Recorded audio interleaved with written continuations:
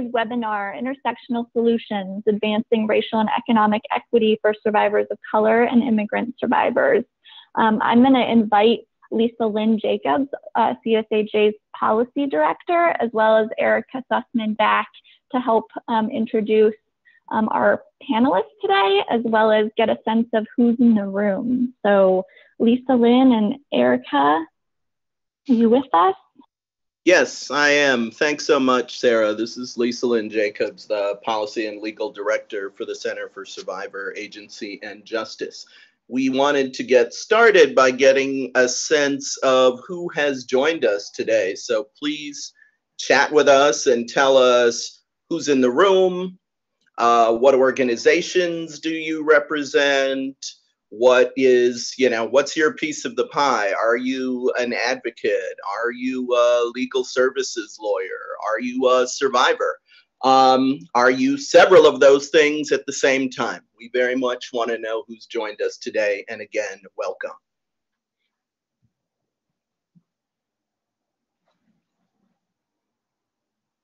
And while people are sharing how they've joined us today and what work they're engaged in. I'm going to turn it over to CSAJ's Executive Director, Erika Sussman, to give us a little bit of background on the organization.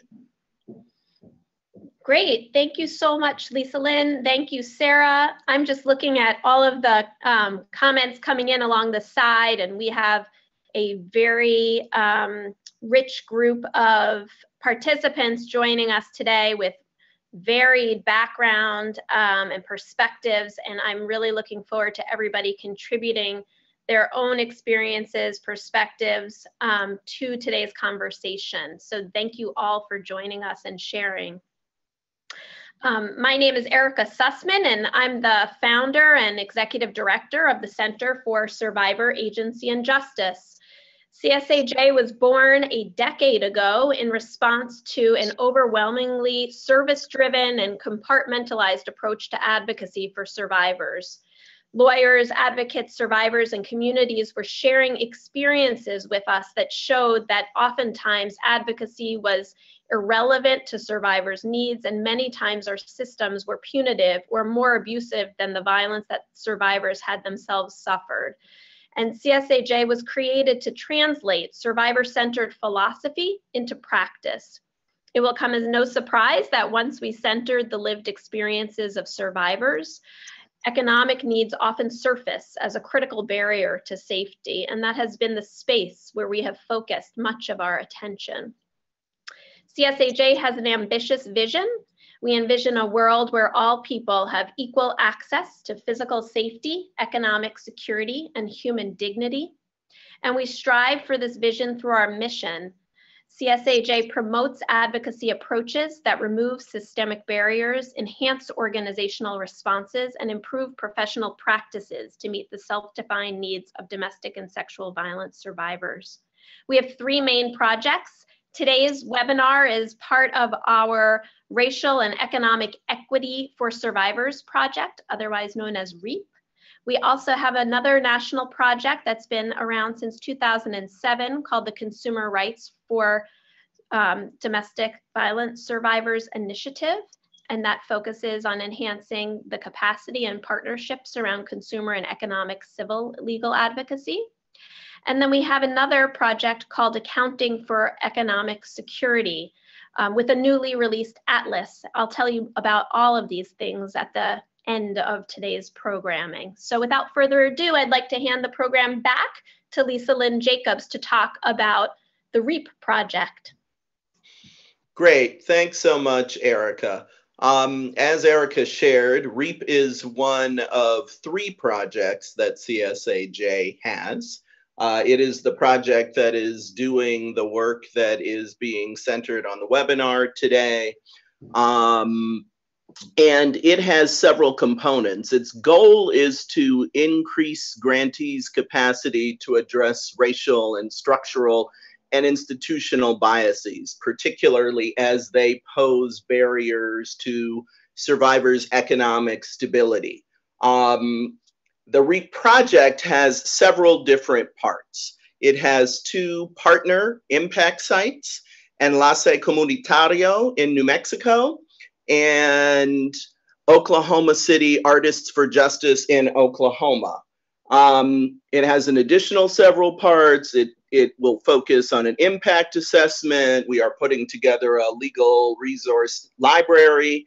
We're going to do some work with survivors and a version of StoryCorps.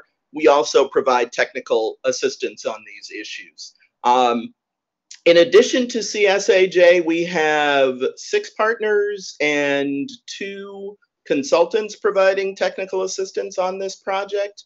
Uh, they are Women of Color Network, Southwest Center for Law and Policy, the API or Asian Pacific Islander Institute on Gender-Based Violence, Casa de Esperanza, the Texas Council on Family Violence, the Kirwan Institute for the Study of Race and Ethnicity, and our two consultants uh, who bring to us a vast history and background with legal services, among other things, um, are Camille Holmes and Bill Kennedy. Uh, and so today, the webinar is the third in a series that the REAP project has put on. The other two uh, have been archived and you can access them via the CSAJ website. The first one that we did in January was a racial and economic equity for domestic and sexual violence survivors and featured all of the uh, consultants and REAP partners talking about their work and how it is centered in racial equity work. And the second, which was done at the end of March, was titled Race Equity Approaches to Domestic and Sexual Violence, a research and community lawyering perspective. Um, and that one involved a dialogue, particularly from uh, Bill Kennedy and Camille Holmes, who come to us with a background from legal services and legal aid, talking about how those particular racial equity tools that they use uh, can be used and applied in the context of the domestic and sexual slash racial justice advocacy that so many folks who are listening today do. Um, so I look forward. The last two webinars have had a fabulous and rich discussion with the chat while we have been engaged by the substance. Without further ado, uh, the bulk of the webinar is going to be led by our partners at Women of Color Network and at Casa de Esperanza. So I'm going to turn it turn it over now to Purvi Shah of Women of Color Network to start talking about why they do and how they do the tremendous work and advocacy that they're engaged in.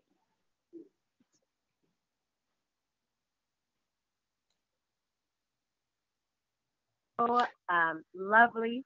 Oh, um, good afternoon, y'all. It is so lovely to be able to um, be with you today. I'm so excited to see so many of your names on the attendees list and so grateful for the work that you do every day and just so grateful to be part of this community. So thank you so much to CSAJ for hosting this webinar and being our partners, and um, also to Pierre and Rosie. I'm so excited for the information we're all going to be able to provide to you. So we really want you to be able to be energized within our current climate, to be able to work with survivors in a way that honors our whole lives and to work from a holistic and intersectional context. And we're going to be talking about systemic barriers and really hoping to give you tools and resources. Um, next slide, please, Sarah. Um, so we wanted you um, to really be able to, again, interact with the work that we're doing. So throughout the chat, feel free to show how and speak to how racial, gender, and or cultural bias is showing up in your work with survivors, and of course, also in terms of economic security issues. So we'd love to hear from you how you're seeing this in your day-to-day experience, even as we describe some of the work that we've been seeing. Next slide, please, Sarah. So we wanted to really start by um, poising why we exist. And um, I'm going to start um, in terms of the work of the Women of Color Network. Next slide, please. Um, and I'm so honored. My name is Purvi Shah. I know many of you and so grateful to know you and your work. And I'm a senior consultant with the Women of Color Network and so happy to be able to work with WOCN Inc., an independent nonprofit, in terms of our work to end gender violence.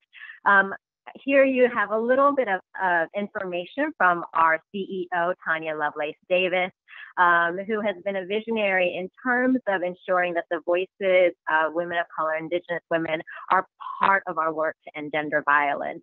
One of the reasons that we exist as an organization is that we see violence across many issues. And so, as you see from Tonya's letter, we see the violence faced by Sandra Bland, by Terwin Gaines, by in Orlando, and all these other modes of violence that we see within Indigenous and um, people of color communities as also related to gender violence. And I want to lift up one of the terms that um, one of our staff members, Reverend Elise Moore Orby, uses. When we talk about violence against women, we're also talking about violence in women's lives.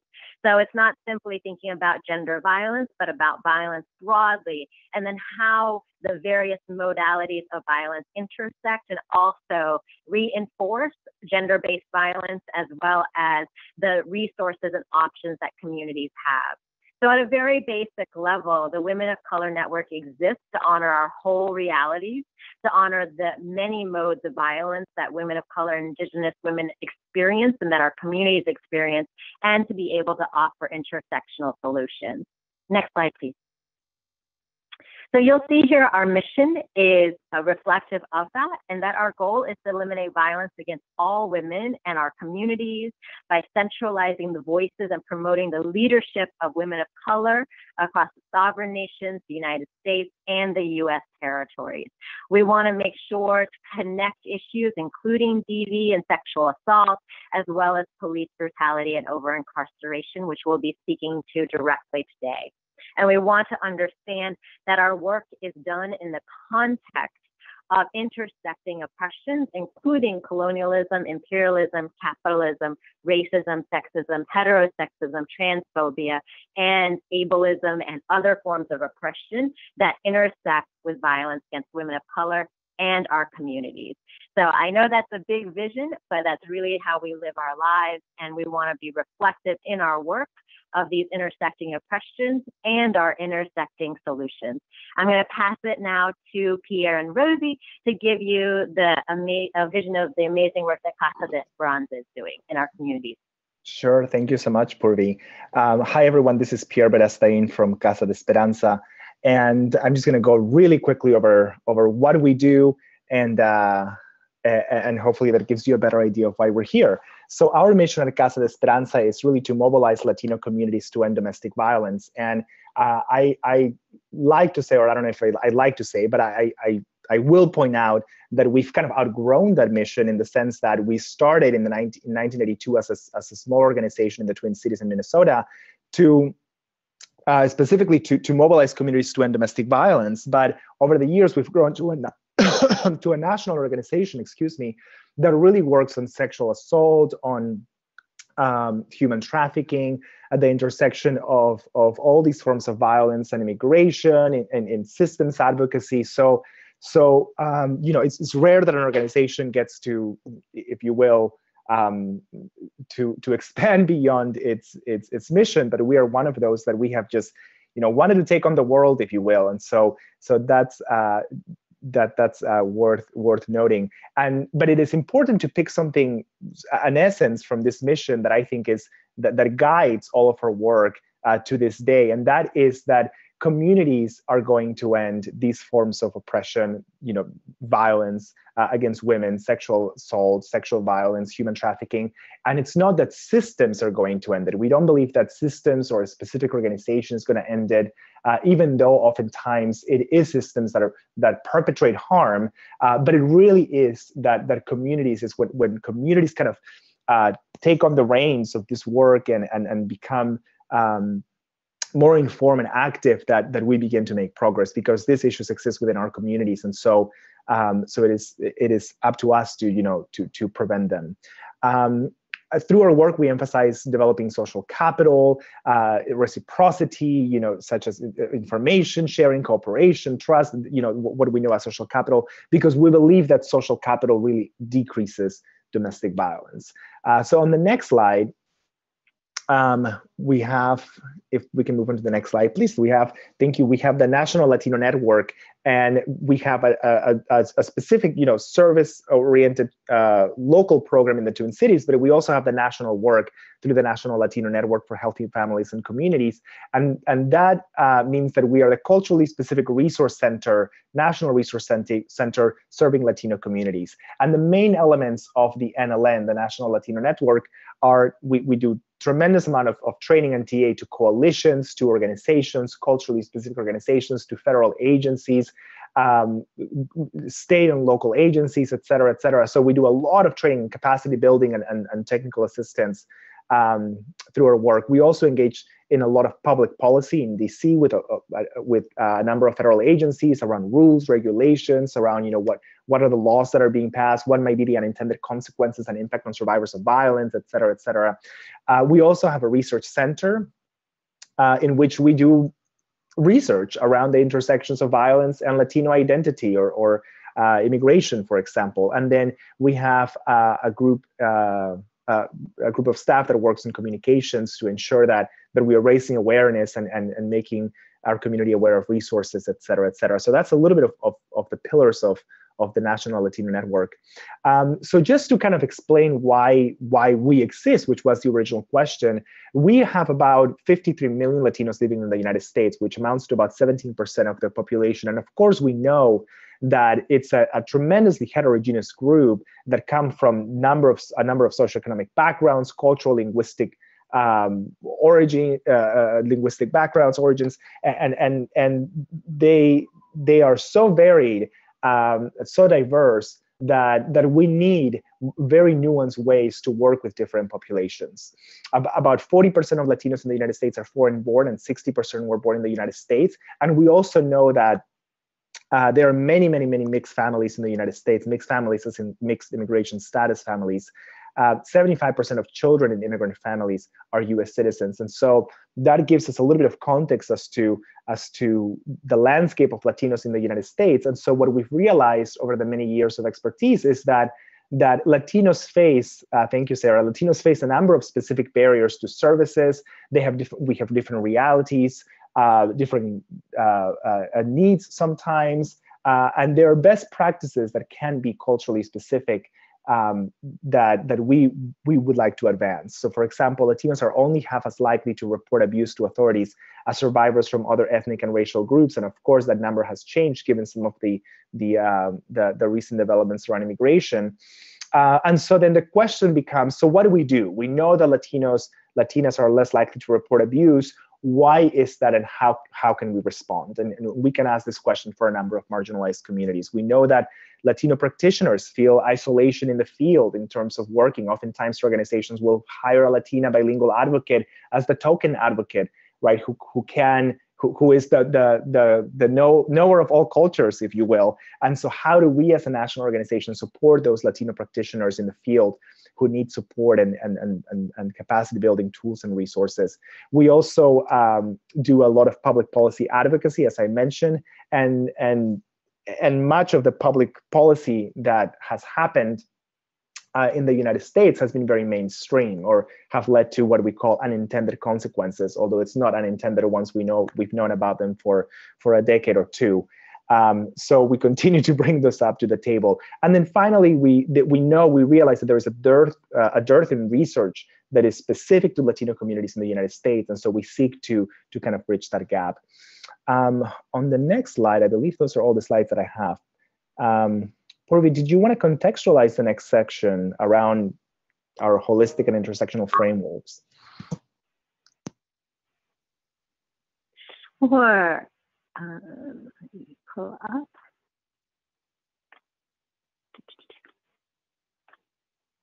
So in terms of, um, I believe actually the next slides are, Pierre, your cycles of oppression. Correct. I just didn't know if you wanted to so contextualize. You, sure, I, will go. I'll jump oh, in. No, go go ahead, and and then I'll jump back in. Sure. So on the thank you. So on the next slide, uh, we just wanted to really quickly touch on oppression uh, and and and summarize oppression in two slides. And so it's a feat. Uh, so forgive us for doing that. But oftentimes, you know, we are asked to to speak about, you know, what is oppression, what is intersectionality, and whatnot. And and it's difficult sometimes to find the language um, to to to make people to some degree understand. So hopefully, this is a tool that that you as advocates, that you as as as trainers yourselves in your communities can use um, for people who who who who say, well, you know, something happened 100 years ago and therefore it's no longer relevant people are no longer oppressed. So this is what we call the cycle of oppression and it might help frame some of the, the subsequent discussions that we will be having today. Uh, oppression starts with a myth is what you, and again this is a huge sum, uh, sum, uh, synopsis or, or, or what is it called reduction of what oppression is but it starts with myths or misinformation uh, missing information stereotypes right and then that gets turned into uh, into a socialized uh, component. So it's reinforced by institutions, it's reinforced by culture, by the government itself. The media perpetuates these myths and misinformation. Uh, our textbooks in, in, in, our schools will perpetuate stereotypes, will, will not include information about um, the, the, the genocides that have happened in the United States, for example, et cetera, et cetera. So it gets social, the myth gets socialized.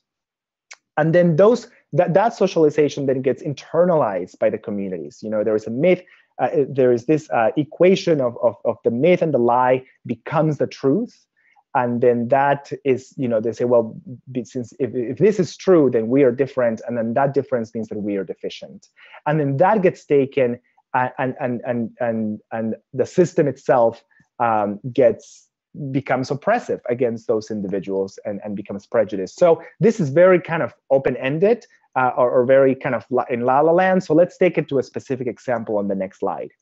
So in the next slide, you'll see here, the myth here, for example, is that domestic violence is more prevalent in communities of color because those cultures condone violence. That is a myth that we hear all the time. You know, black communities are more violent, Latino communities are more violent, and this is kind of the myth that, that gets perpetuated. And so then the socialization part comes in that more children of color uh, end up in child protection. Uh, there are higher rates of criminal sanctions for men of color, for example, right? So this is the socialized part. And then this gets internalized as men of color have been higher conviction rates, more children are removed from the homes, um, and and then uh, uh and then we end up with um, you know with with the perception there's more violence, and so then people believe that they are if you will, inferior, which does is not shown at the at the bottom of the um, of the slide there. And then this gets turned then into into a, a systemic behavior in which people are scrutinized more closely. Um, we we say that they're under serving of ser- uh, you know under, under uh, they they don't um, they don't deserve services. Uh, more children are removed, and then we perpetuate the myth, and then the cycle continues, and we continue to to um, to to oppress individuals. So um, I, I, got, I, just got a time check that that my time is almost up, and I just wanted to pause really quick and see if you had any comments because I went through that incredibly quick. And so feel free to chat us, and then I'll respond in the chat or in or you know uh, um, uh, or, or via voice. So that is that is oppression one on one. Hopefully that tool is, is useful and you can take it to communities if if need be. We just summarized oppression in two minutes. Thank you. And then I pass it on to Purvi. Great. Thank you so much, Peter, for laying that groundwork. And I also just want to acknowledge and honor some of the comments that folks are putting into the chat. I know um, Nicole and James, you've been speaking to um, the impact of pathologizing trans and gender nonconforming and LGBT communities. And I think that's such an important issue. And thinking also about our communities, as Pierre just described, the ways that our communities are pathologized, and then what that means in terms of scrutiny, criminalization, as well as access to services and resources. So thank you so much for including that information in the chat, and please do continue to report out. Um, so I want to kind of give that broader context in terms of, again, how our communities are seen and then you know what does that mean in terms of access to services and resources and give the broader picture that our communities don't have access to resources because of historical oppression And so the inequity that I'm going to speak to in terms of economic security and access is fundamentally tied to a history of oppression, um, erasure, eradication, genocide, slavery, and use of immigrant labor through abuse in this country. So that context is really for us um, important in terms of when we look at some actual details of economic inaccess and insecurity. So given the groundwork that Pierre laid and also that I just spoke to in terms of the histories of oppression, the work that we've been doing at WOCN Inc. in our economic policy and leadership project is to lead with the vision that despite violence and inequity, our communities and survivors are resourceful and have been for centuries, and that we are entitled to economic security, a voice at every table, and safety and health for our communities. And in this, I want to really highlight that we don't see our communities as different from um, individuals, and that there is a fundamentally an individual and community connection in the work as we see it.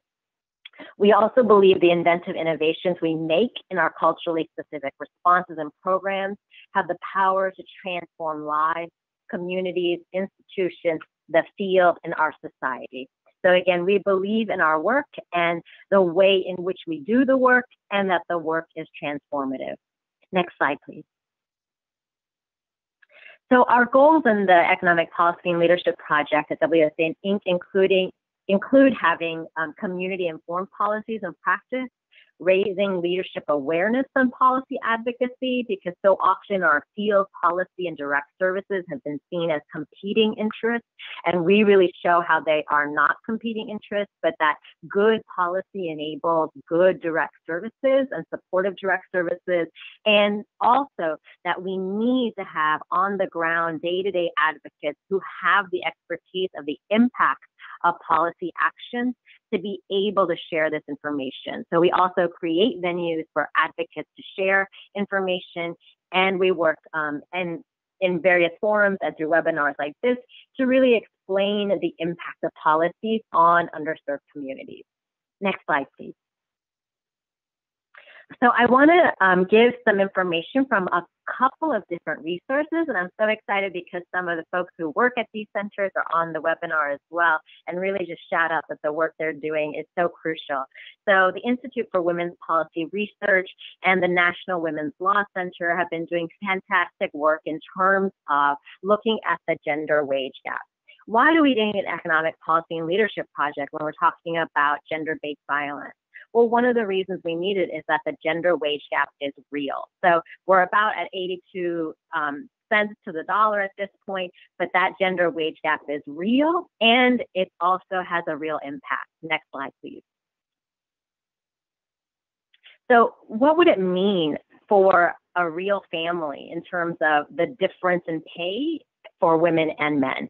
Um, it means things like three months of groceries, rent and utilities, childcare payments, health insurance premiums, six months of student loan payments, nine tanks of gas. So this is like the day-to-day reality of what it means about having a gender pay gap. Next slide, please. So when we think about this pay gap, um, we also want to recognize there's a disproportionate impact on women of color and indigenous women. So you'll see here that women of color are across the board paid less than white non-Hispanic men. African American women make 63 cents for every dollar, Latinas 54 cents, Asian American women 85 cents, and Native Hawaiian Pacific Islander women 70 cents, and for Native American women 58 cents. So this is a significant difference across the spectrum of women of color in terms of access to pay and resources. Next slide, please. We also see that in terms of um, the work, and again, I'm really citing incredible work that's been done by the Institute for Women's Policy Research as well as the National Women's Law Center. Um, please do a look at those original resources. Um, what we see is that not only will we have to wait until 2059 for women to get equal pay, but Hispanic women would have to wait until 2248 and Black women until 2124. That is too long to wait. And so our work is designed to help increase visibility to these, issues and also the impact that economic um, insecurity and inability to have access to resources has on gender-based violence. Next slide, please. Um, we want to also acknowledge that the disparities in income and pay um, go across spectrum. So, for example, lesbian women make less than men, regardless of sexual orientation. Um, we also see that trans women make less after they transition. Um, so, one third of workers found their earnings um. And also, women with disabilities similarly experience a wage gap, 72 cents to the dollar, um, to 75 cents. So again, even within particular categories, we see that these disparities continue. Next slide, please. And as our partner CSAJ shows, why we talk about this and the importance of it in that, again, it affects our everyday lives, what we can afford, what we have access to and resources, and fundamentally a lack of economic security increases vulnerability to violence. So we see that there is a link between access to resources, between poverty and domestic violence. Next slide, please. Um, this access is not only in terms of what um, resources the survivor might have to pursue legal options or to pursue other kinds of avenues to respond to situations of violence, but it also causes long-term economic instability. So you might have income and job loss from abuse, you might have housing instability, there's inability to access transportation at times, and of course decreased access to childcare. So these impacts are long term in terms of thinking about access to education, which again is later than an access to other kinds of higher pay.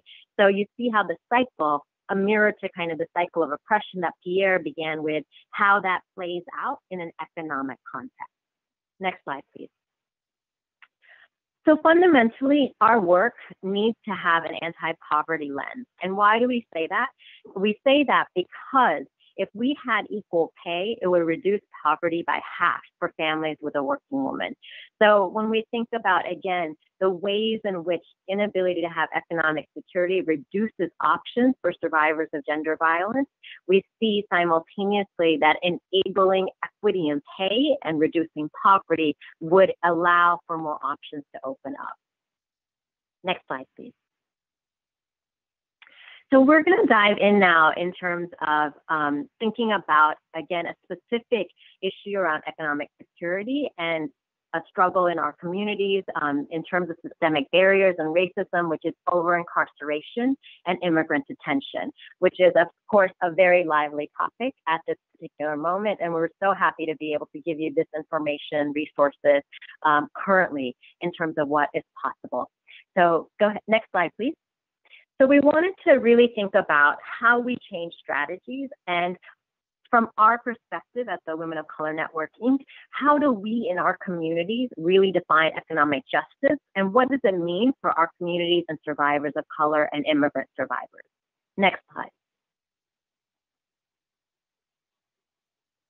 So this is information that is called, and I really want to lift up all the amazing advocates who are part of our economic policy and leadership work. Many of you are on the call, and it's just such a joy to be able to partner with you all.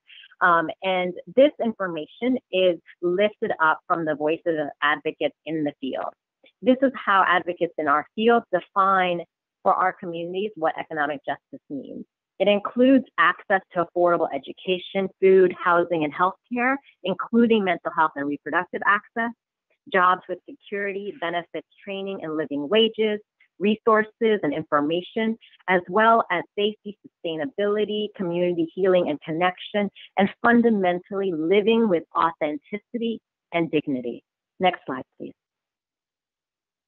So when we think about historical oppression, we want to also counter that with catalyzing movement.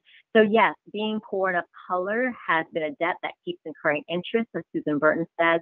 And as Kashwa Bar says, if leadership has failed, we are the new leaders. So we hold both of those realities of needing to understand historical oppression and also knowing that we are the new leaders.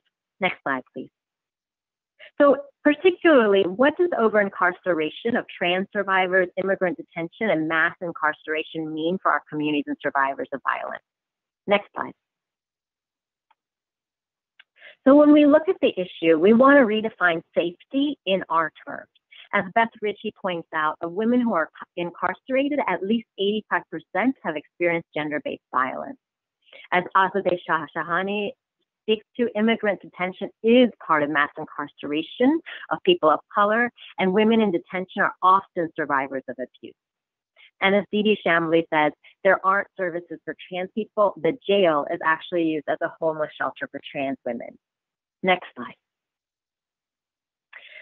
I'm referring now to the amazing work that the Transgender Law Center has done. And in their 2015 national survey of trans individuals living with HIV, they noted that 43% of respondents made less than 12,000 per year, and 41% indicated a history of incarceration. Cecilia Chung, um, who is one of the amazing participants on a webinar that we at WOCN Inc. hosted last um, fall, which is on our website. We have the link to that whole webinar later in this um, presentation. Cecilia noted that if folks have a history of incarceration, they're likely to drop out of care, which leads to poor health outcomes and a higher likelihood of experiencing intimate partner and or state violence. She really underscores that everything is connected and that's why we, in this real life example, need to include work around economic and racial justice and involve the folks directly impacted, including trans survivors of color, when designing and implementing programs. Next slide, please. In the immigrant context, Lillian Hewko, formerly of the Washington Defender Association, has given a powerful frame for us, which is that family is a powerful reentry program, and that programs need to enable parenting programs and skill building for survivors when incarcerated in order to enable safety and self-sufficiency. And as some of the children that she cites say, um, that they really point to what would have helped me most compassion for my mom and that their connection to their family um, incarcerated is really part of not only being able to be able to enter successfully after incarceration um, into a family and society context, but also a reason for hope and a reason for both the parents and children to be able to um, be whole, holistic, and also encounter safety and wellness. And I put this in the context, as Lillian describes, that one in nine Black children have an incarcerated parent in this country. Next slide, please. There's a toolkit that has been released um, in terms of, and Pierre is going to talk very soon about immigrant detention and, um, and that component, but I wanted to briefly give you uh, toolkit that has been produced by the National Immigrant Justice Center um, around ICE contracts and inspections to end abusive detention. It's an adv advocacy and organizing toolkit. And the reason we need this is that litigation alone does not solve problems. We need to speak with policymakers and document stories with the media. And we also need collective action, including the kind of collective action that 22 mothers have taken at the Berks Family Detention Center.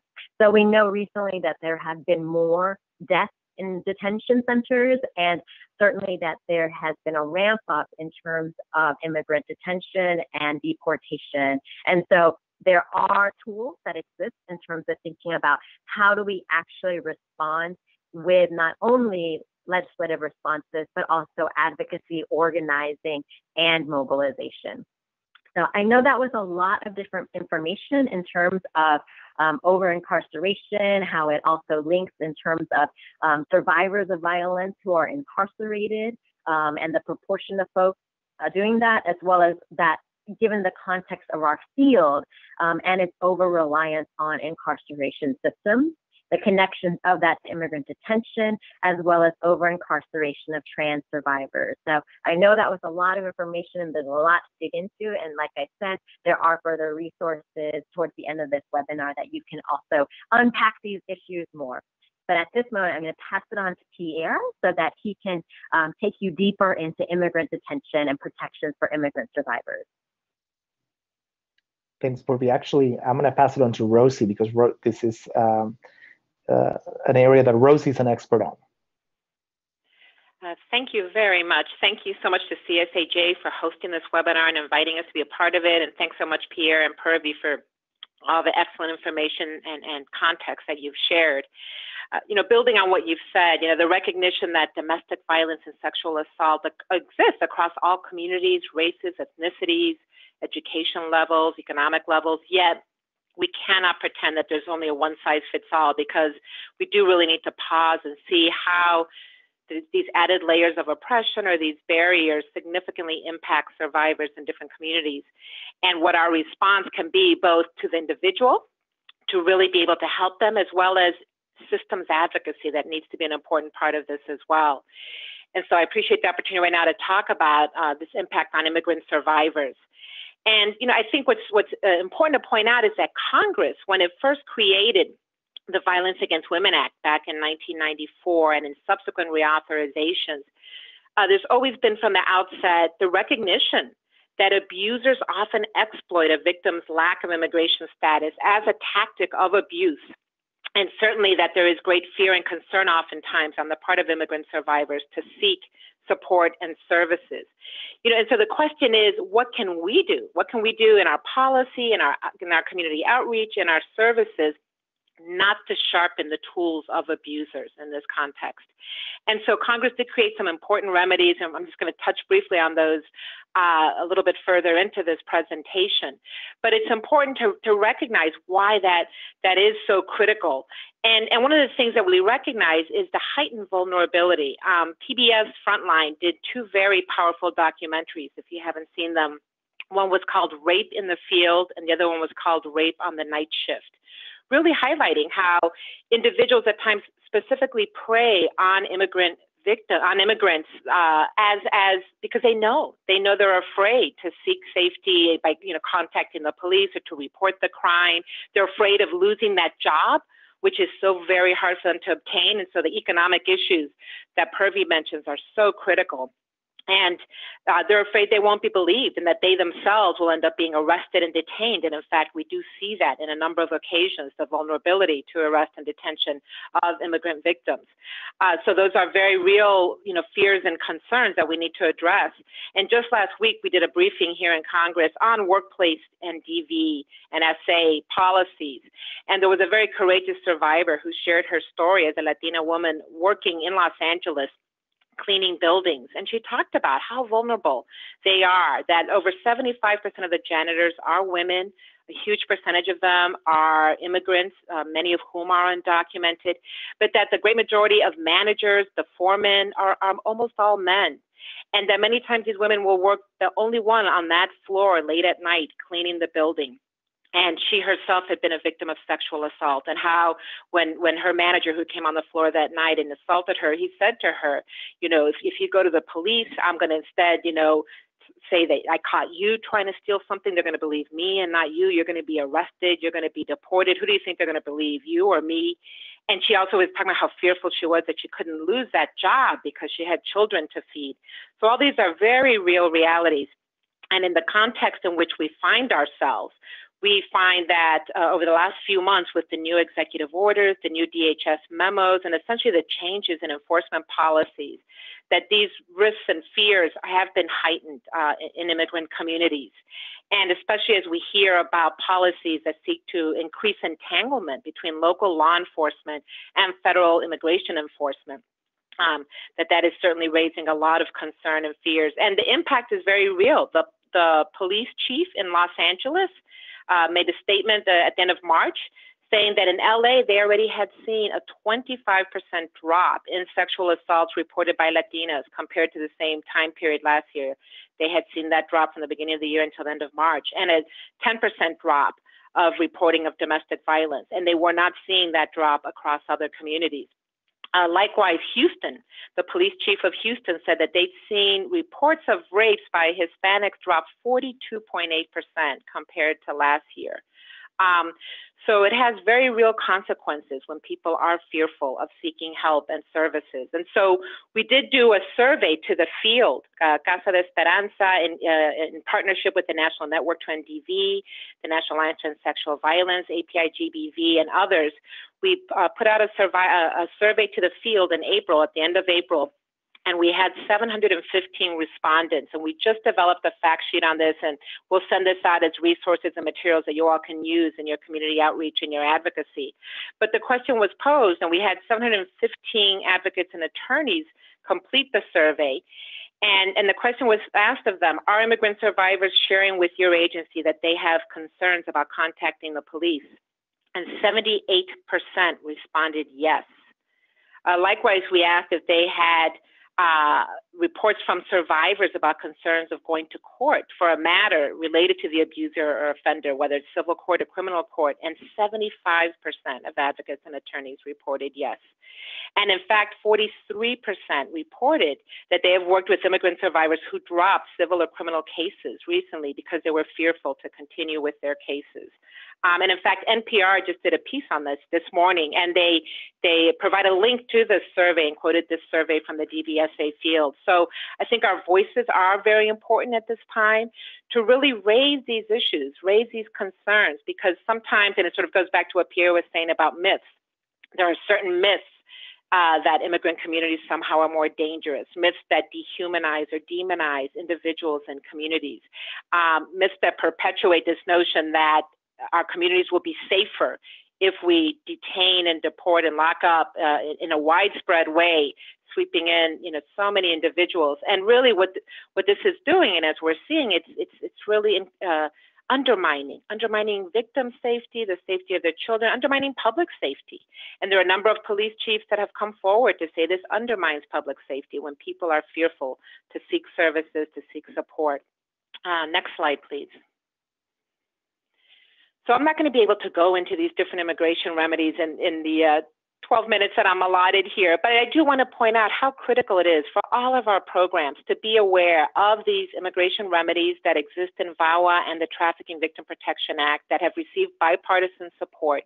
Um, and for example, the VAWA self petition, as I mentioned, from 94 was created to recognize that at times uh, uh, an immigrant uh, victim may be married to someone who's a U.S. citizen or legal permanent resident, but they have chosen to keep their spouse in undocumented status because what greater tool of power and control than to keep someone in undocumented status, unable to seek employment legally, fearful of losing custody of their children and of being deported. So the VAWA self-petition is a critical remedy uh, that exists to allow that individual to, to submit a self-petition. The U visa is for individuals who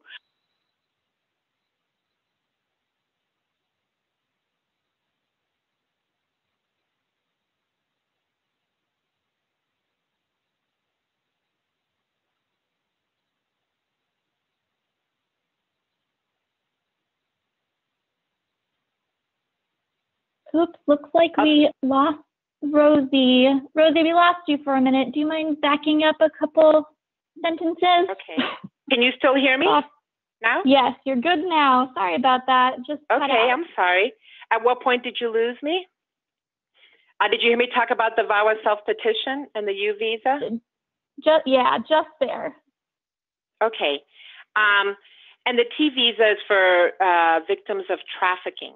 Um, and then again, how critical it is to connect people who might be able to p- apply for asylum. Particularly, we've seen a lot of women and children fleeing horrific levels of sexual violence, gang violence from Central America, uh, who should be recognized for what they are, which is really refugees fleeing persecution, uh, and individuals who could be a, a, entitled to asylum here in the U.S. and ensure that we connect them to attorneys and knowledgeable advocates that can help them and, and special immigrant juvenile status also is an important status that might be available for unaccompanied minors. So we do have other webinars, other resources that really go into a lot more depth, but mostly it's to make sure that your program can connect individuals uh, to organizations in your community, to immigration lawyers, to people who know, who are specialized in this training, that you develop the partnerships and that we can really connect uh, immigrant survivors to, to pursue these critical resources. Uh, next slide. And so really this also requires enhanced safety planning when working with immigrant survivors. And Jill Davies has a really good piece, you know, that talks about being aware of uh, the risks posed by abusers as well as systems risks, right? And so we do really need to be aware of that right now um, that there are system risks right now uh, that when, when immigrant survivors aren't sure what's going to happen, uh, whether they can turn to the police, whether they can turn to the courts. And this requires really much greater advocacy in a coordinated community response, as well as helping them in their own safety planning uh, to be aware of what would happen if they are detained, what are some contingency plans for their children. Help immigrants understand that they do have rights. Many times they think that they don't have rights if their uh, immigration status is unauthorized status. But they do have a right to remain silent. They do have a right uh, not to be pressured into signing something that they don't understand. They can ask to speak to an attorney if, if they are detained. And this is something important I want to point out because federal immigration is actually civil. It's not criminal, it's civil. They're not entitled to an attorney, uh, but they can ask to speak to an attorney if they if they if they know of one that they can turn to. So again, it's really important in our safety planning to make sure they have the name and number and that you know who are some attorneys that can help them if they are detained. Um, they, if, if, if questioned, if they're stopped, they can say, "Am I free to go?" Or am I under arrest? And and there needs to be a, a basis if they're going to be detained um, and, or to be arrested. And they can and they don't have to answer where questions like where were you born or what is your immigration status if they're just stopped by the police. So it's important for us to know what their rights are to share with them what their rights are. And we do have materials, excellent materials put out by the ACLU, by the Immigration Law Resource Center. There's some excellent webinars too. And in fact, I encourage you. There are a lot of trainings going on in communities right now about knowing your rights because it does vary somewhat from jurisdiction to jurisdiction on some different aspects, for example, of how would you uh, provide for a power of attorney or a, an affidavit of care for an individual's child.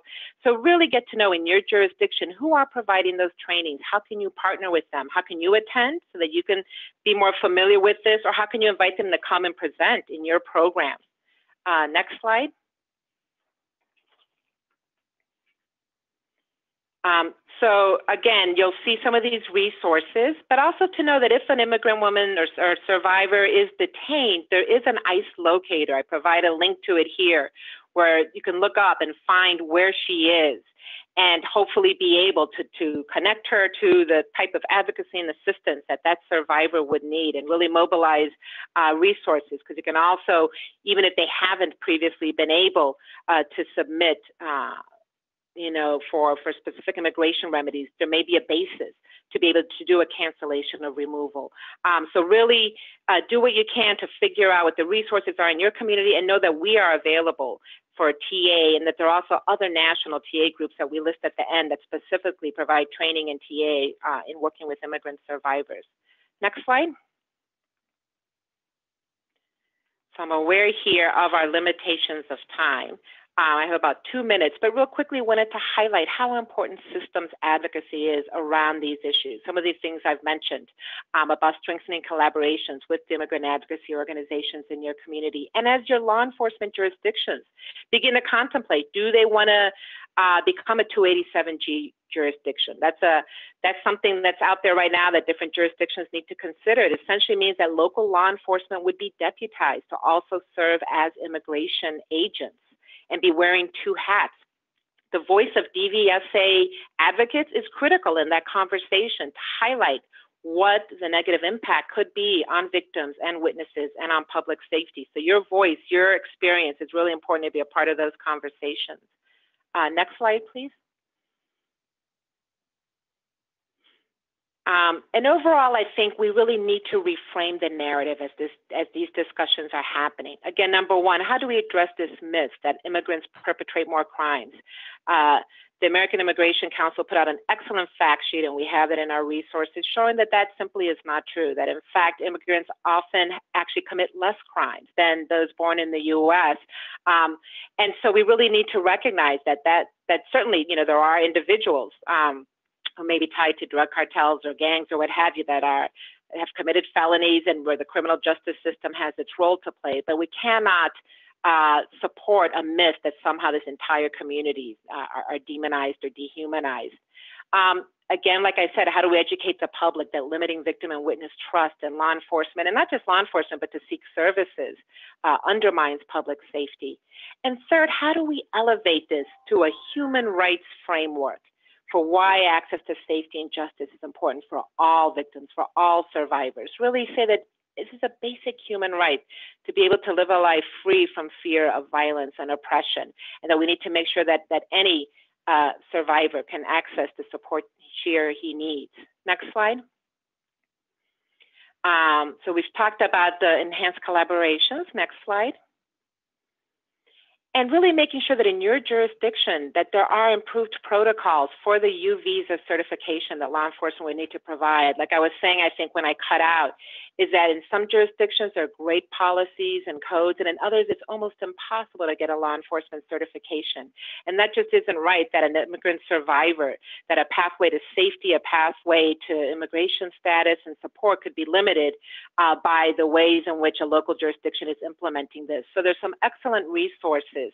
And in fact, the Department of Homeland Security put out this whole certification guidance that really explains to law enforcement the importance of setting up good pro protocols uh, to assist uh, immigrant victims to be able to pursue a U visa. And also, the National Immigrant Women's Advocacy Project has an excellent toolkit as well.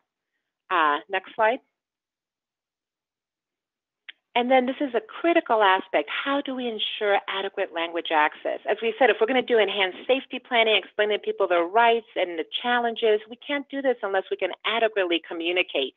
And really, this is a civil rights issue that, and so, but it's also an obligation of all of our service providers that receive federal funding, we need to ensure that there is meaningful access to services for individuals with limited English proficiency under Title VI of the Civil Rights Act. And there's some excellent resources. Uh, there's a whole website called LEP.gov. LEP stands for Limited English Proficient. And uh, the National Latino Network has a whole toolkit to help your program develop proactive language access policies and to do systems advocacy. In fact, we just recently did a whole webinar on how you can do some systems advocacy in the court courts to make sure there's adequate language access in the courts and also with the police. So please check out that toolkit and you, we'll also send a link to the webinar. Um, but we also find sometimes where the police don't have adequate language access, it can lead to dual arrest, where oftentimes they will also arrest the victim, or where the abuser who speaks English better will accuse the victim that she, in fact, or he uh, is the one who is the perpetrator, and then they both get arrested. And then once that victim is fingerprinted and the fingerprints are sent to ICE, that also automatic or to FBI, it also automatically goes to ICE. So there's huge vulnerability uh, in a dual arrest or in arresting the, the wrong individuals. So that's why we have to do advocacy for language access with the police as well and to make sure the police do not use children as interpreters, which in and of itself is not trauma informed, is abusive to children, and undermines language access uh, for the survivors. Um, next slide and this is my final slide I'll cover, which is to make sure that there is access to the services necessary for life or safety, regardless of immigration status. And there's a special letter that was just recently put out by Department of Justice, HUD, and Health and Human Services. Um, you'll see a link there, and we also have it in our resources, making it clear that uh, that victims, survivors should be able to access these services critical for life or safety regardless of their immigration statuses. And that certainly includes shelter programs, transitional housing, prevention programs, uh, a wide range of programs. We can provide more TA on that, uh, but it's important to make sure that, that, that people are not being denied access to these critical services. So I'll wrap up there and I look forward to, to uh, taking your questions. Thank you. Yay, Rosie! Um, this is Purvi again, and I'm so excited to follow up on that amazing information um, and tools and resources.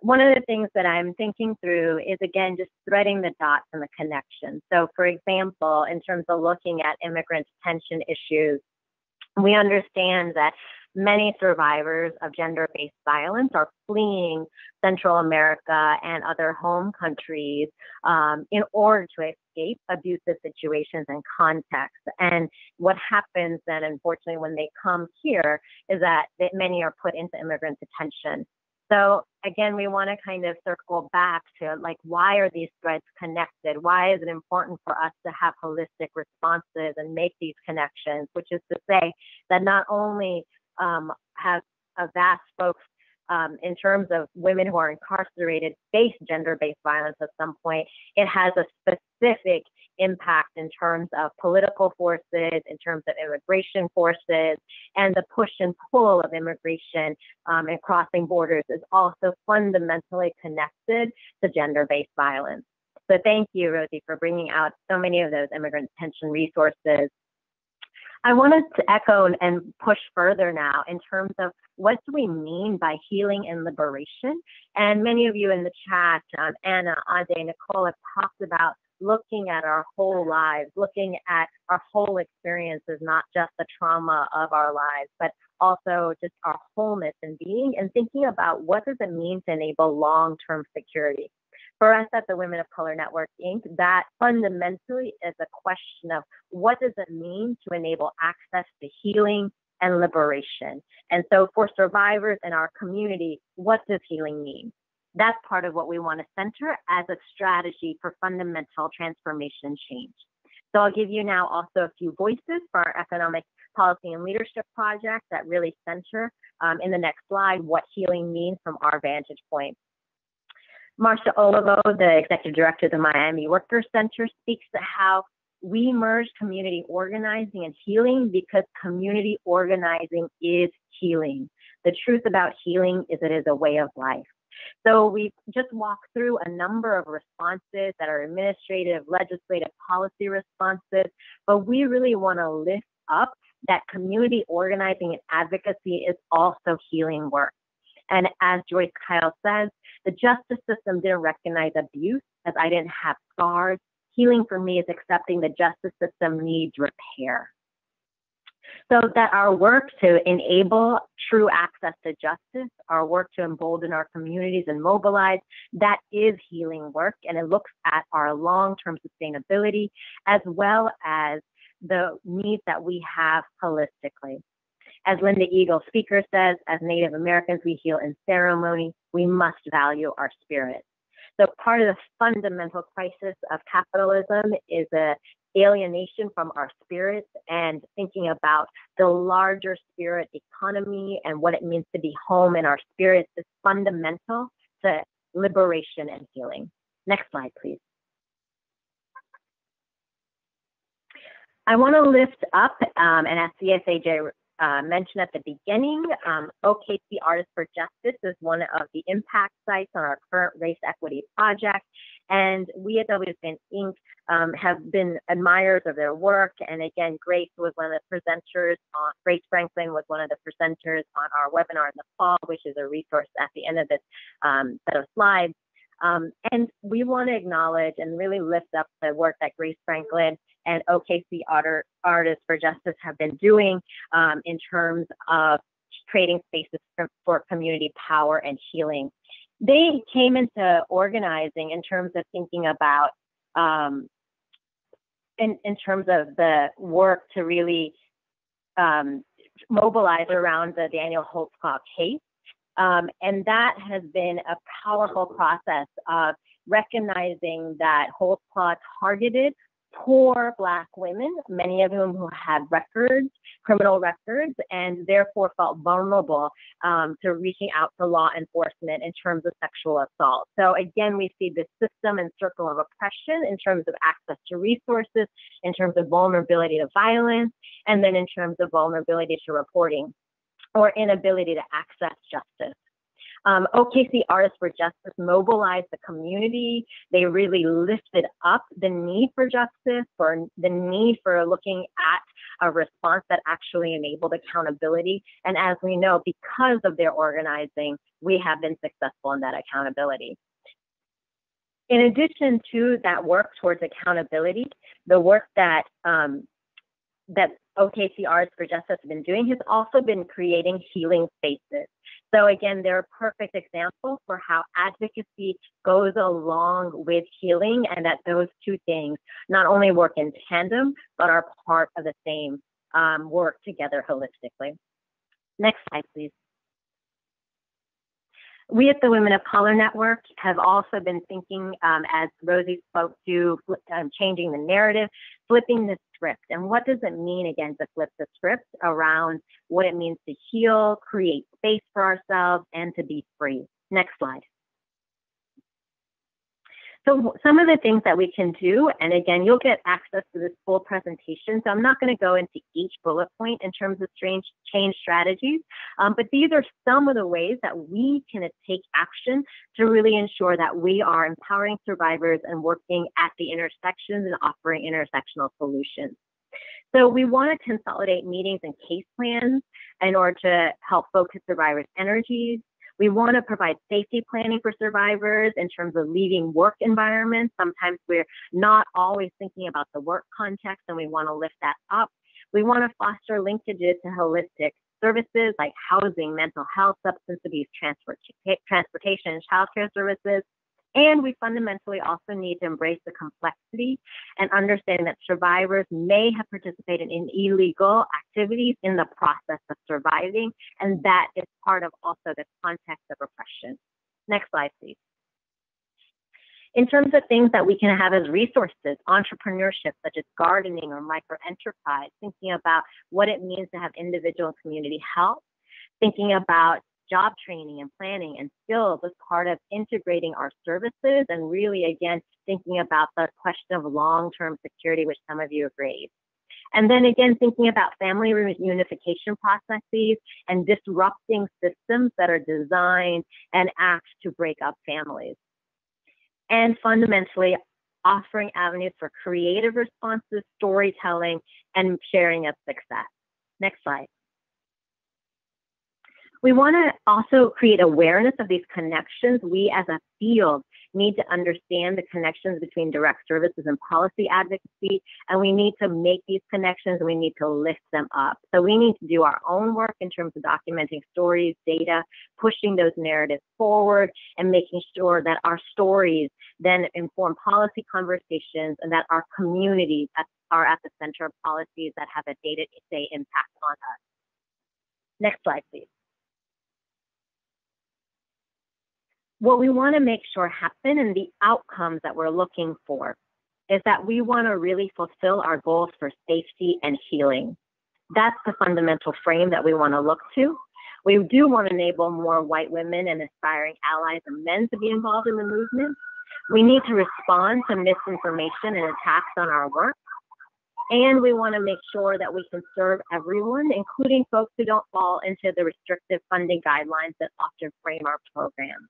And as we've had as a recurrent theme, we want every survivor to be able to be comfortable accessing any agency or resource or support that exists. Next slide. So here's the set of resources that I mentioned. Again, you'll all get this webinar um, and presentation sent out to you. Um, the webinar that I referred to um, earlier, which has Cecilia Chung, Jennifer Chan, um, Noreen Hill, um, Grace Franklin, other folks on it, speaking to economic security. That's all on um, the WOCN Inc. website here. We also have a fact sheet on UNT visas and policy advocacies and reducing institutional bias, as well as reentry, survivors, survivors reentering communities. So all of that information is at that link there. You can also sign up for our updates and you can follow us um, at WOCN Network and my personal handle, which is at Purvi Poet. Next slide. I just want to end before I pass it on to Pierre um, in terms of thinking about, again, the linkage of economic justice and movement building for survivors in our communities.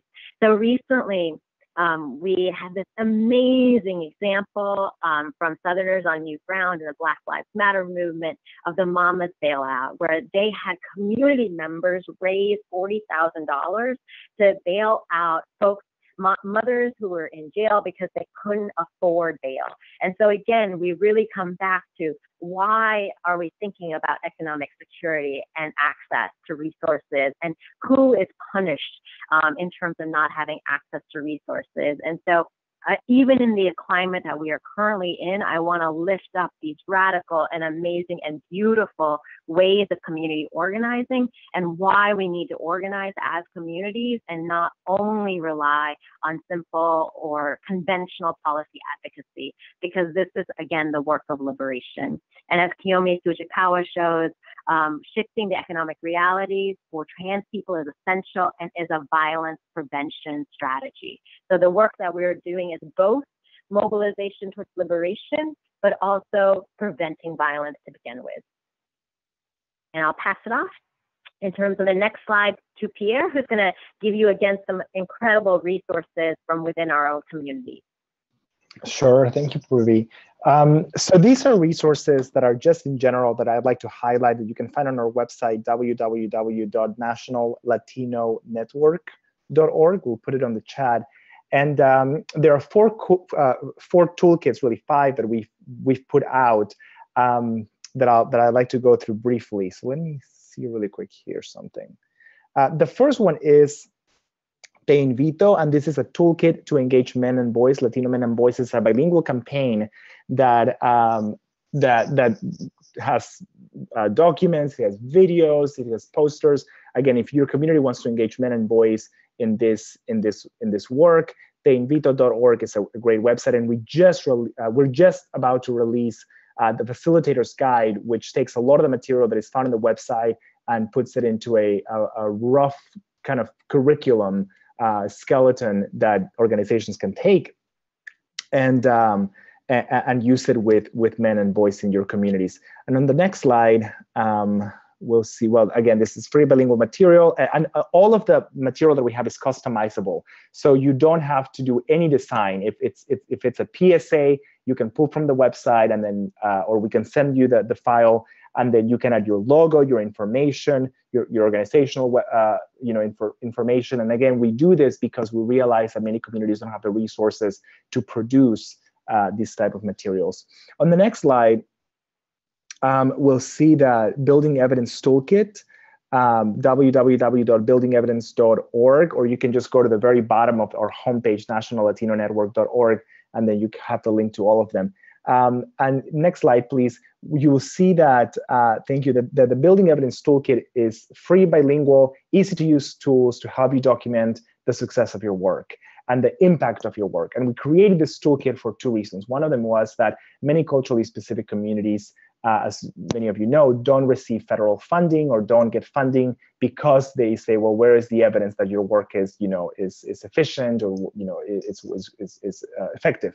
And um, and so then community said, well, we don't have the funding to be able to to uh, to produce this kind of you know material that you need to to prove that our work works, that that our work is good.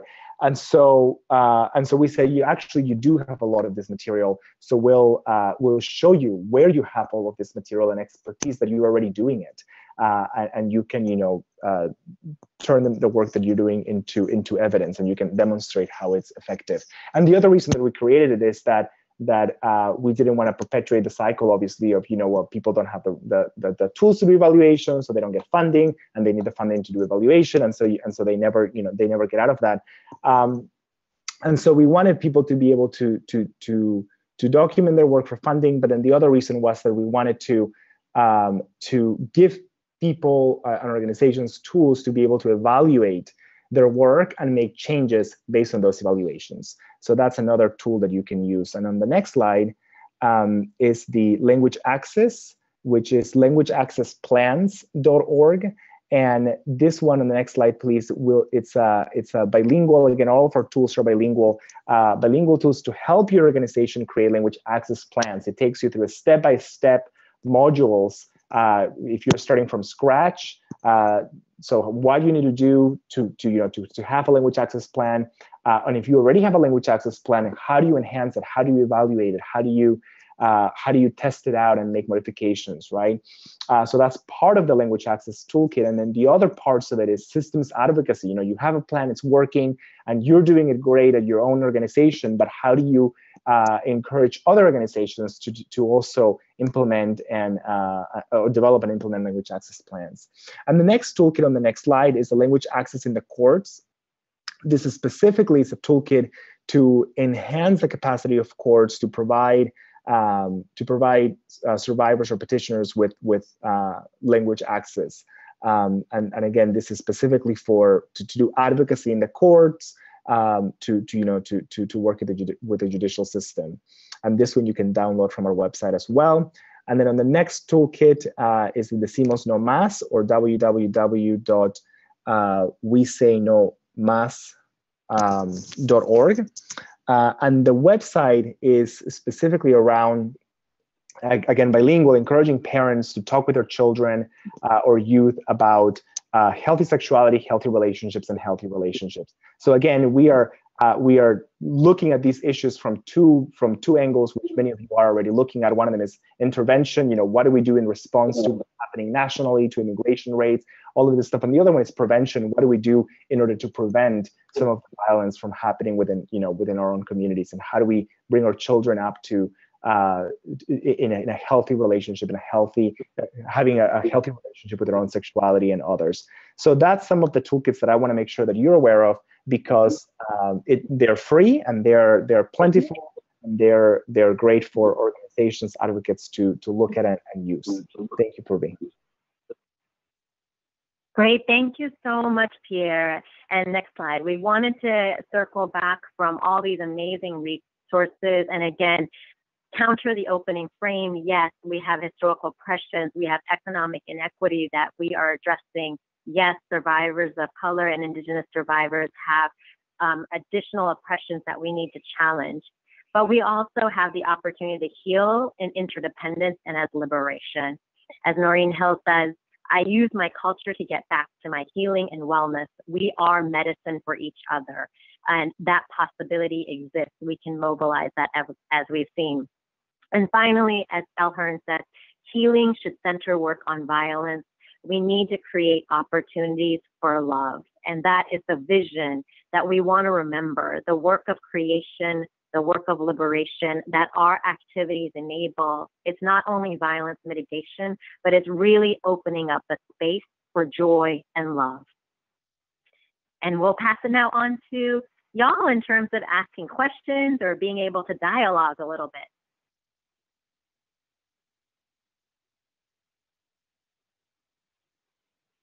Wow, thank you so much. Pierre, Purvi, Rosie. I'm going to invite Lisalyn and Erika and all the panelists back to kind of talk a little bit. If any of our attendees have questions or reflections or want to share a little bit about um, how they're how you all are engaging in the work, I know that our panelists are are really curious and we all would like to lift up what what folks are doing, what you're seeing, and what you're doing um, in your communities. Um, so please engage with us a little bit, ask some questions or share a thought as we have a couple minutes to wrap up today. Um, while that's coming in, for all of our panelists, I do have a couple questions for you all that I've been holding. Um, one is about data, and another, I think maybe first, that's a little broader I think is an interesting question and it comes up a lot. So um, someone asked, how do we address some of the short-term needs that survivors have while making or creating some of the space to be critical and building um, building out for longer term um, security and, and this movement building work that you're all talking about. It'd be great to hear from both WOCN and CASA any thoughts on, on some of those tensions folks are feeling. Well, this is Rosie. Thank you for that question. I think it's an excellent question because I think the challenge sometimes, of course, that advocates see so much need day to day working with individual survivors, and at the same time are aware of the need to work for systems reform and, and to go beyond social services to social transformation. And so I think it is a, an important challenge for how we can do both of those and, and how we can have the support of our organizations to recognize that our mission, you know, should should entail an opportunity to do both of those. And you know, one example I can just that calls to mind is I remember when we um, had done a webinar on language access, and there was an advocate from Rappahannock, Virginia, who said, "Well, you know, in my court system here, they say that." survivors are only entitled to an interpreter in court on a criminal case, not on a civil case. And in our webinar, we highlighted and provided a link to the civil rights letter that had come out of DOJ to all court administrators, reminding them they all receive federal funding and they need to have meaningful access across the entire court system. And what was great is this advocate later followed up and shared with us that she not only went in and got an interpreter for her own you know, clients in court as she was a court advocate. But she then used that to do some systems advocacy and, and went to the court overall and to the coordinated community response team and said, you know, how do we change the policy? You know, she showed the letter for the Department of Justice Civil Rights Division, and they're like, oh, okay, you know, you're right. And, and it's not that perhaps they didn't know, it's that the squeaky wheel gets the grease, right? And an, and an individual who's an immigrant and who's limited English proficient is not going to be able oftentimes to do, to have the knowledge of their rights and to do that kinds of systems advocacy. So it really is incumbent incumbent on all of us. So I thought that was a great example of how she helped not just her own client have an interpreter, but actually helped change the system, the court system, to make sure that all individuals who were LEP could access the courts.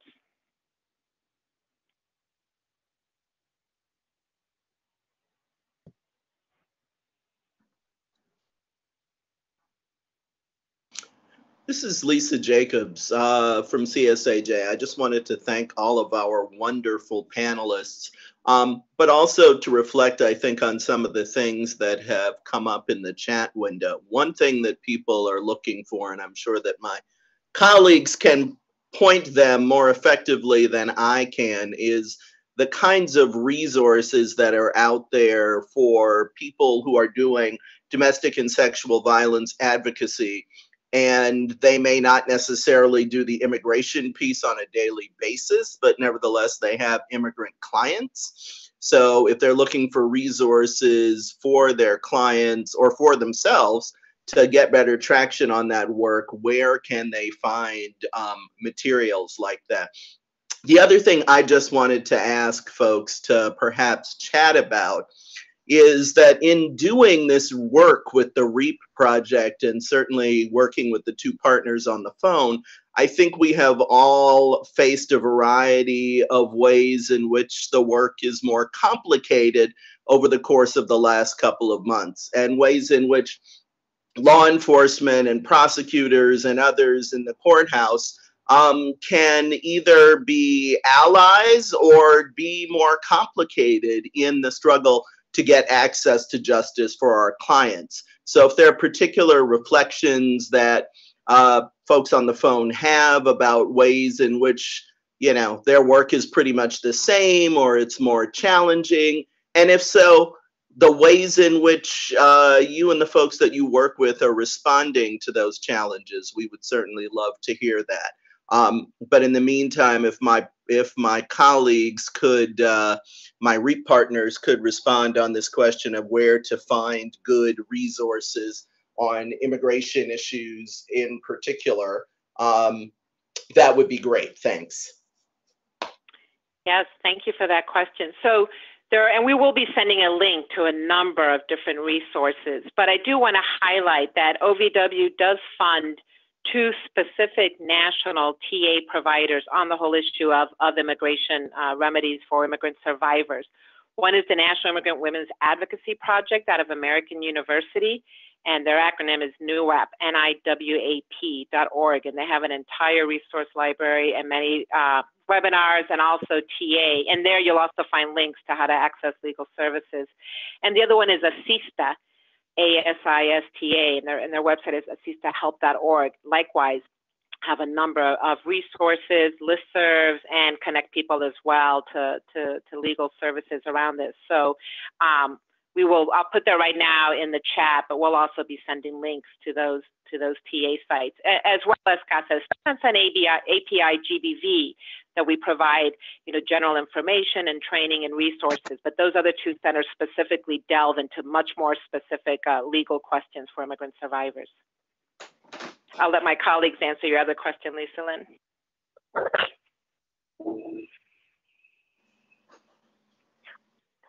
Great. Thank you so much, Rosie. And I would also say, again, Um, our link in terms of the WOCN Inc. page has information from the National Immigrant Justice Center, which was responsible for the ICE toolkit that I referenced. And so there are um, a host of resources in addition to the one Rosie mentioned. Um, so please do follow up. And I believe actually, Sarah, if you can advance some of the slides, y'all can see some of the resources that we have in um, this PowerPoint as well in terms of things to look up. So I, I know that there has been a lot of information that we have given you, and um, it's you know just such a joy to be able to hear about some of the victories that some of you are reporting. Cecilia, congrats on the language access advocacy with NYPD. I know that's an ongoing situation, so thank you all for also sharing the works in which you're continuing to advocate and the ways in which you're really thinking about the communities that you're serving.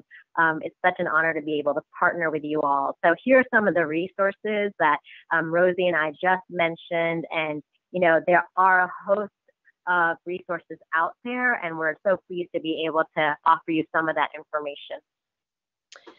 Yes, this is Erika. And wow, I just want to express so much gratitude to Purvi and Rosie and Pierre for sharing your work and your perspective and your spirit today with all of us.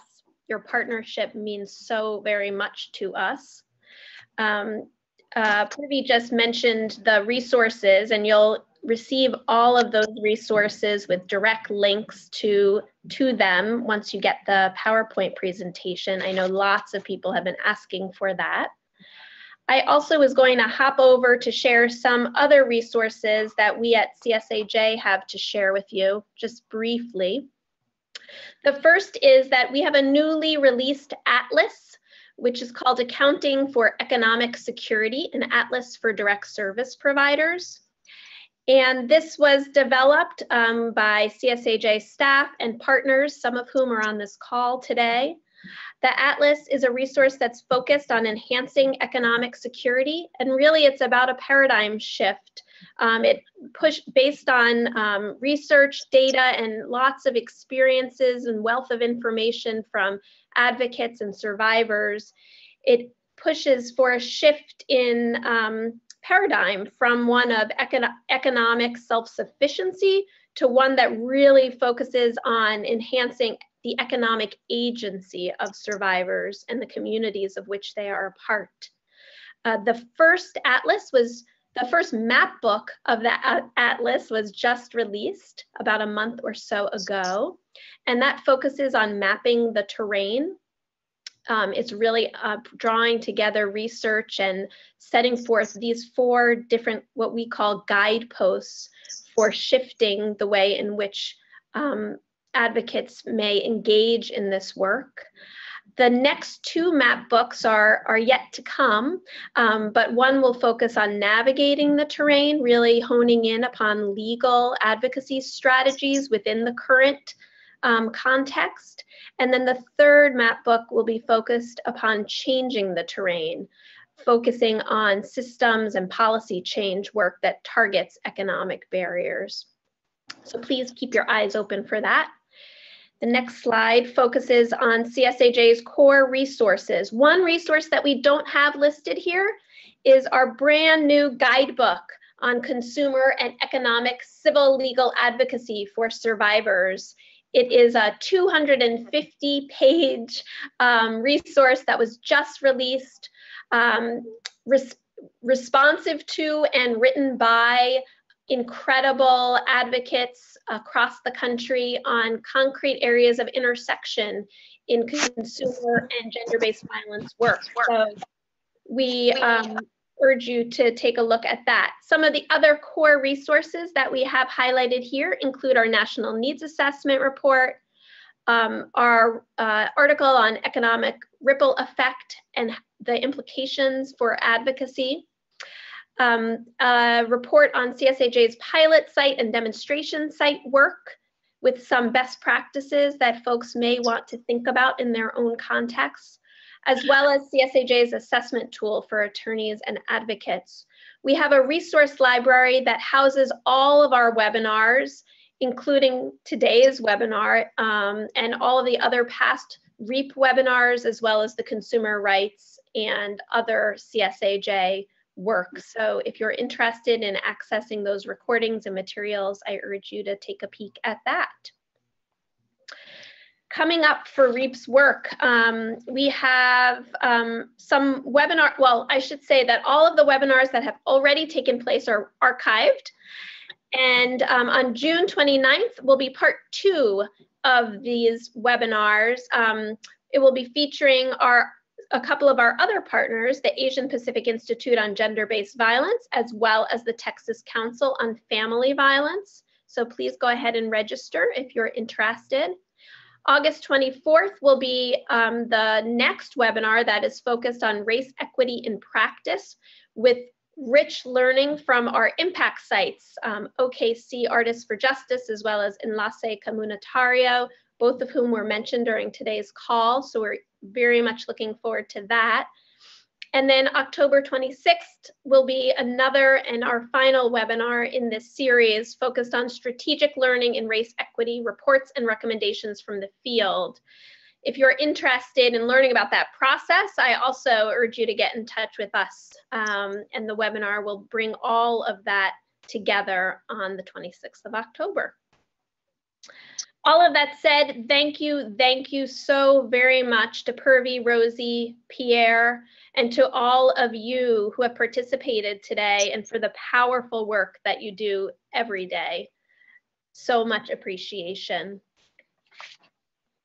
And this is Sarah, just to echo all of that and to encourage you and to connect some of the dots between um, um, Purvi mentioning how important it is to ground this work in what you all are doing. After this, you'll be directed to a, a brief little, um, not evaluation, but a check-in really.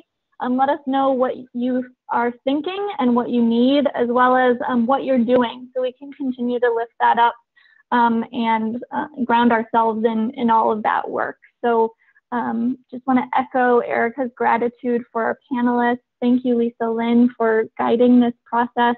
Um, and thank you all for joining us. And we will be in touch directly very soon so you get all of these rich resources right in your hot little hands.